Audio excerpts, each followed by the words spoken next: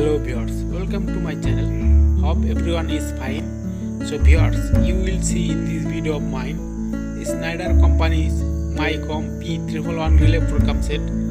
So keep watching the full video of view and stay by